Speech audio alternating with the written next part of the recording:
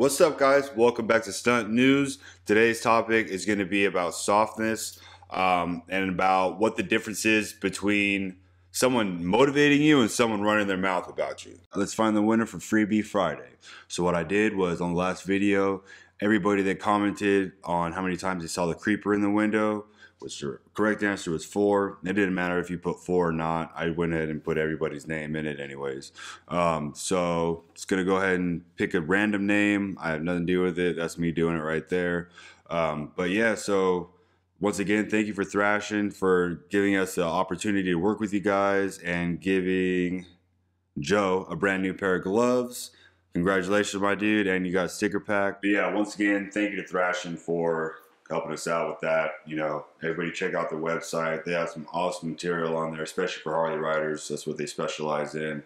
Um, but yeah, so let's get over to the softness video. Um, first off, I want to give a perfect example of how the stunt world works. Okay, there's one guy. Uh, he looked up to the, this other rider, whatever the case, you know, and uh, asked him about some pointers on how to do a trick and the guy was running his mouth like, "Oh, you'll never be as good as me at that trick. You'll you'll never make it." Blah blah blah blah.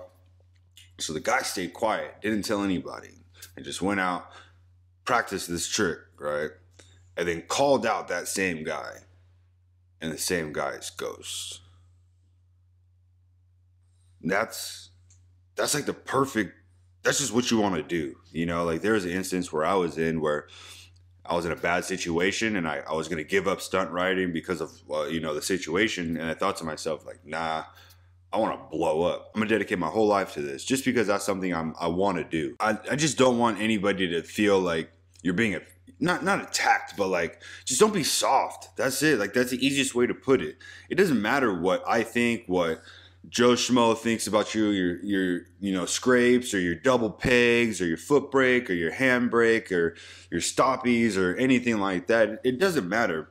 The one thing that everybody will always tell you is we all ride for fun.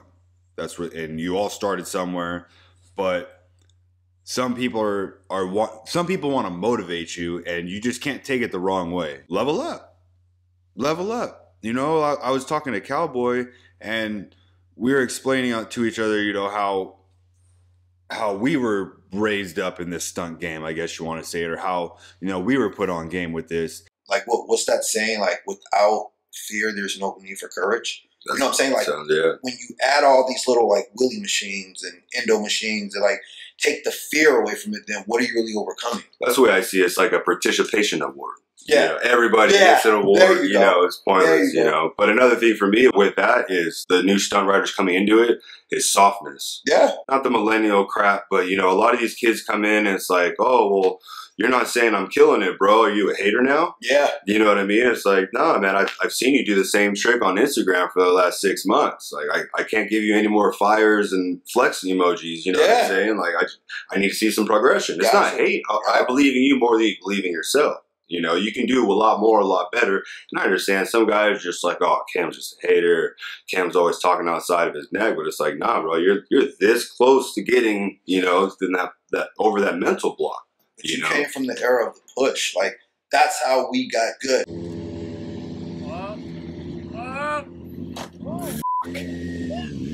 God damn it, Kawboy! You had somebody ready to donate 150 bucks if you got it that try. What are you doing? Wake up! Let's go! Right. Came out there and you were like, Tolly, or, or get out there like, yeah. oh, you suck, you're a squid. No, exactly. You know, we yeah. talk to each other like that. So, like, yeah, I go ride with you and every day, like, Kawboy, you're a squid, bro. Yeah. You suck at that.